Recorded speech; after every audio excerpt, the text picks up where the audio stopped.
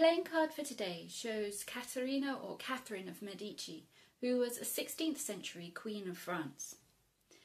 It comes from a set of 52 famous queens, which was published in 1644, and we are combining it with a piece by Tarquinio Merula, which is also entitled La Cattarina, and was written around seven years before these cards were published.